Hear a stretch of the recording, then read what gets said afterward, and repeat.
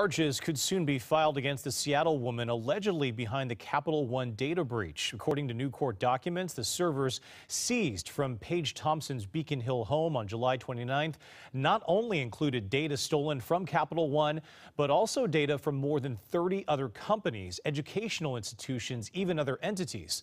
Investigators are still working to determine the type of data that was stolen, but say much of it does not appear to contain personal identifying information. According to new court documents, the government plans to file an additional charge against Thompson once the victims are identified. Thompson is scheduled to appear in a Seattle courtroom tomorrow for a hearing.